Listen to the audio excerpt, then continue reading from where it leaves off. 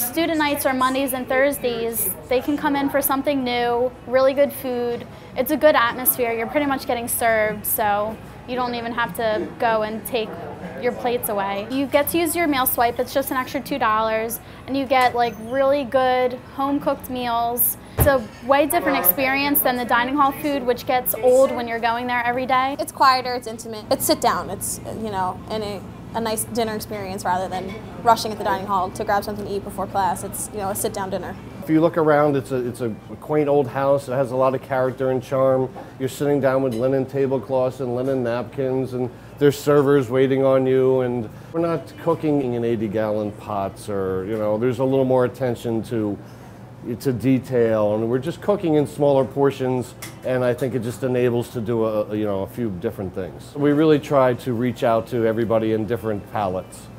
I come here because it's a great meal for only $2 more than I would normally pay and I love it here. It's restaurant style food.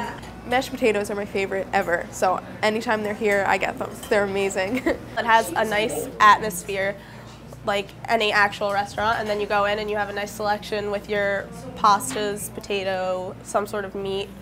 I can't even count how many times I've come here, but it's a really great meal for only $2 and a meal swipe, so it's definitely worth it. You have to call in for reservations. You can't just walk in and get a table.